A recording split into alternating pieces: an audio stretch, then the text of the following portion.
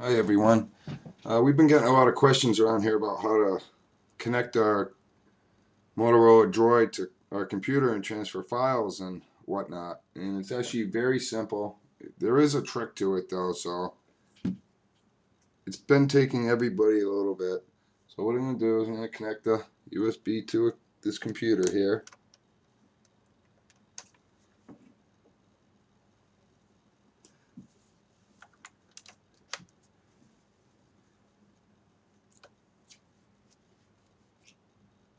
And we're going to connect our droid.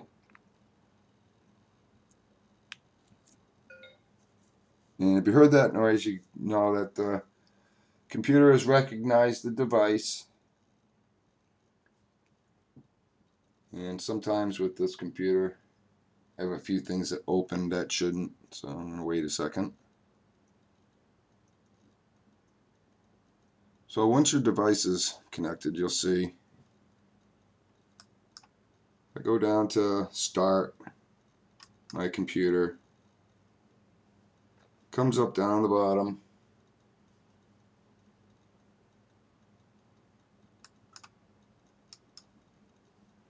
Click open. And it says please insert disk into drive F. So this is where everybody gets stuck. The reason you're getting stuck is because you need to go back to the phone pull up your messages and pull down your messages and on the very top it will say USB connected. Just tap on that and a message will come up asking you if you want to mount the phone to your computer. Click mount and voila all the files open up. Removable disk F opens up. It will show manage music View, find, fix, share photos, browse media files, copy disk, view as a slideshow, print pictures, etc., etc. Everything that you have, open folder and view files.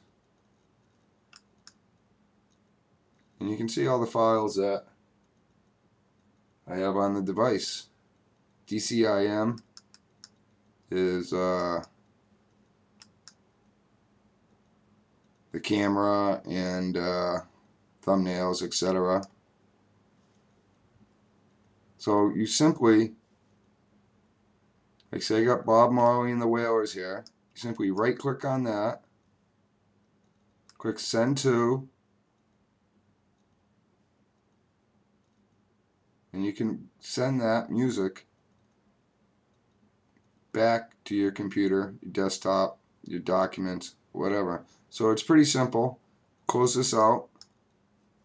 And to unmount it, it's always a good idea to go back to your computer, right click on F, click eject,